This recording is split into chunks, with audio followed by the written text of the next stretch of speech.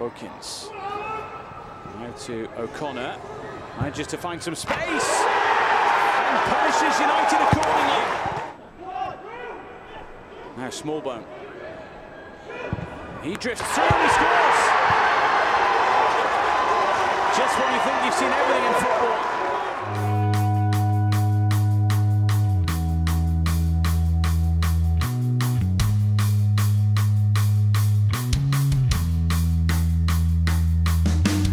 Uh, well, obviously the spirits are high throughout everyone after the last game.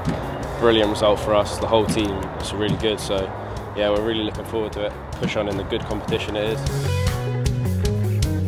Yeah, it means a lot because it's such a big tournament for, for our age and it's good to play knockout football against well best academies around. So hopefully we can go as far as we, far as we can.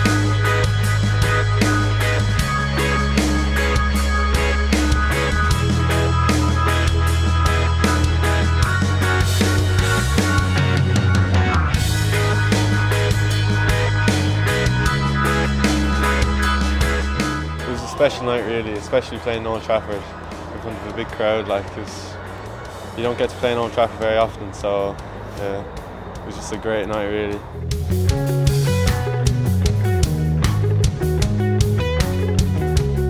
For, for the whole team, it's just a, an urge for us to push on and really make it in the game. We've got it early now. Some professionals have a great career and never, never play at Old Trafford, so it's a privilege for all of us.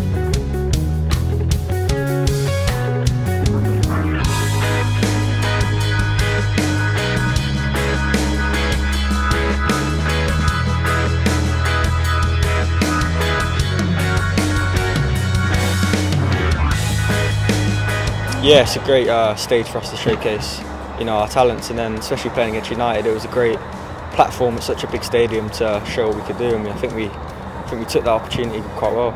Yeah, we're going in with the same mindset really. It's another big game.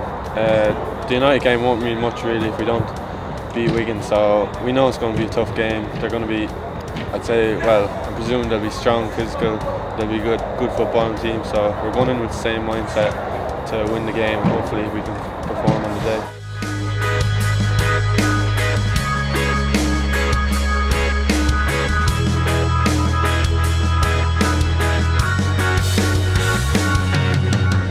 Uh, yeah, well, we've had our little Christmas break, which has, um, done us all well. We've had the time to rest up, so we're eager to go now, ready to go for the next game. So I'm sure that month off won't be a problem. We're all buzzing for the game, so it'll be, it'll be.